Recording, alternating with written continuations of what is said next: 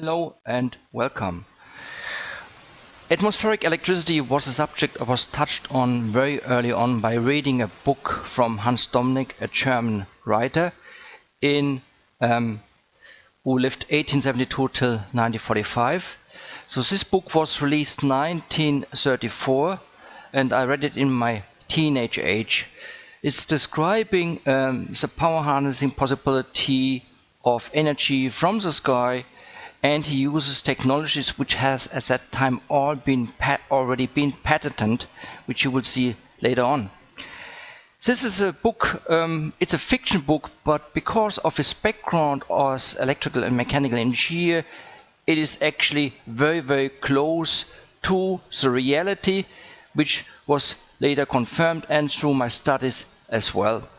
Um, he was working as an electrical mechanical engineer, as said, in World War One by uh, building the submarines for uh, the German force, but he was also involved in working on telegraphs or um, remote controlled systems for torpedoes.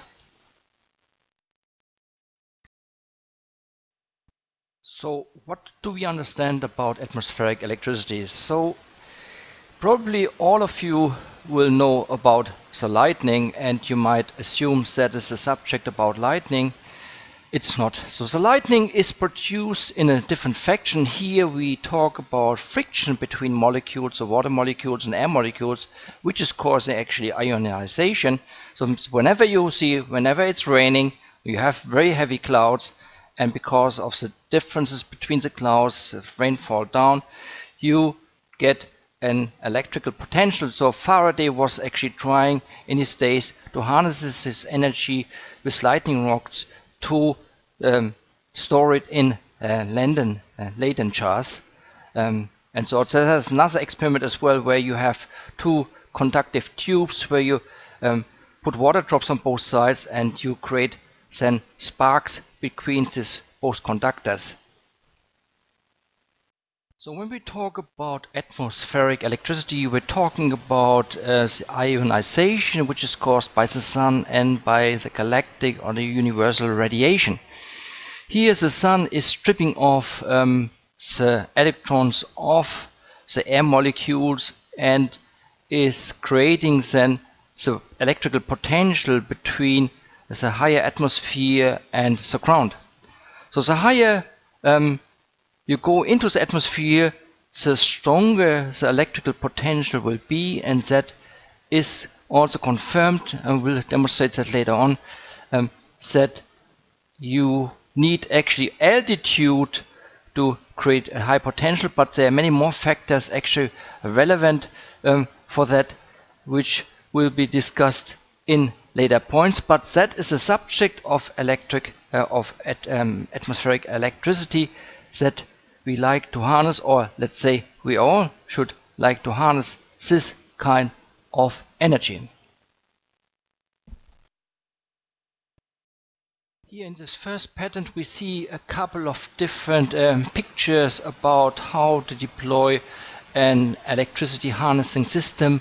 We are seeing balloons, we are seeing um, structures mounted, uh, uh, mounted between mountains.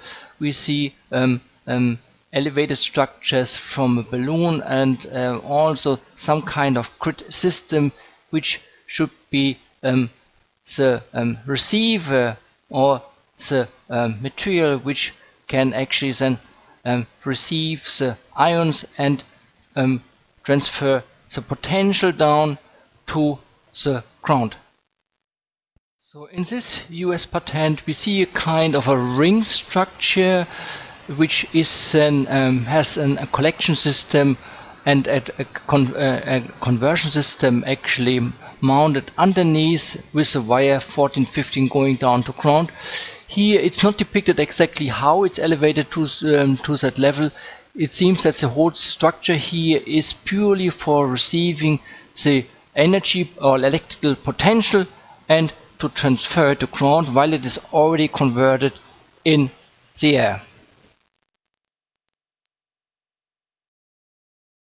This patent is for me the most logical way to deploy such a system to harnessing atmospheric electricity.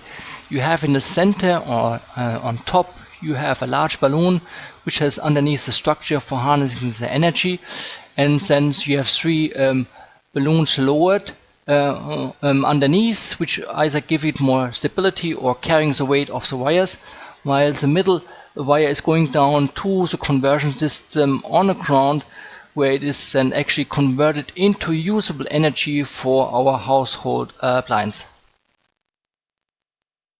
The most uh, known company working on that subject is a company located in America called Ion Power Group. I have listed here all the patents they have already raised, mostly global raised patents for the usage of graphene of harnessing this, this energy.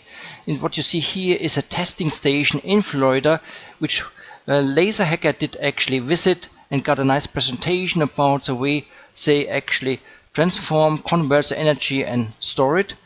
They have a large number of people supporting them, inclusive NASA and high-level university professors, which are sitting on a board. On the second picture, you see the testing site here with all these four um, poles going up in the ground. It's not that high. It's about 39.624 meter, but at that level, they can have all they, so already have about T, 2 to 4 kilovolt of voltage generated and stores it in the system. At last, working on the subject, I want to list Stan Deyo. Most of you might know him from his website where he where he discussed various subjects, but also on my on my YouTube channel where I posted his presentations about anti-gravity.